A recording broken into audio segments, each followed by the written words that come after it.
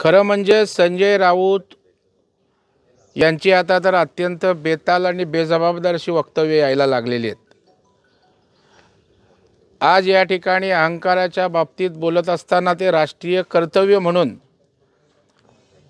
वक्तव्य त्यांचं येतं आणि एका बाजूला न्यायालयावरच टीका करत न्यायालयाने काय केलं पाहिजे अशा प्रकारच्या आता मार्गदर्शन ते करू लागलेले आहेत. आणि मला वाटतं हा न्यायव्यवस्थेवरचा अविश्वास त्या ठिकाणी आहे आणि हे लोकशाहीसाठी अत्यंत घातक आहे.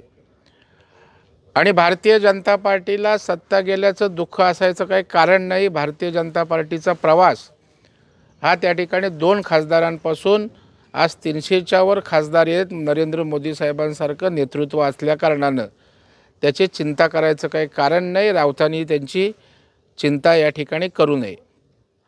आणि कोर्ट हे त्या ठिकाणी कुठल्याही सरकारच्या आदेशावर चालत नसतं. आणि त्याच्या प्र अशा प्रकारचा आरोप करणं हेच मला वाटतं त्या ठिकाणी कंटेम्प्ट ऑफ कोर्ट आहे. त्याच्यामुळे संजय राऊत यांच्यावर त्या ठिकाणी कायदेशीर न्यायालयीन कारवाई होण्याची आवश्यकता आहे. कारण आत्तापर्यंत त्या ठिकाणी सामनाच्या माध्यमातून बेजबाबदारपणे टीका केल्या.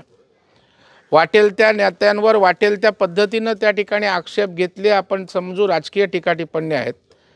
परंतु या देशामध्ये डॉक्टर बाबासाहेब आंबेडकरांनी जी सर्वोच्च अशी न्यायव्यवस्था केली जर त्या न्यायव्यवस्थेच्या बाबतीत अशा प्रकारचे आक्षेप आणि न्यायालयाने काय करायला पाहिजे हे सांगत असतील तर यापेक्षा दुर्दैव या ठिकाणी लोकशाहीचं न्यायव्यवस्थेचं असू शकत नाही आणि मला वाटतं न्यायव्यवस्थेनं या ठिकाणी दखल घेण्याची आवश्यकता आहे.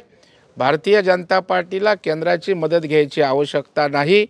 भारतीय जनता पार्टी सक्षम आहे.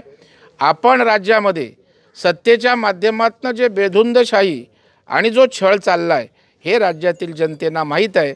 भारतीय जनता पार्टी ही जनतेच्या हितासाठी मुंबईकरांच्यासाठी कारशेडच्या बाबतीत अशा प्रकारे आग्रही आहे. त्याला विलंब होऊ नये.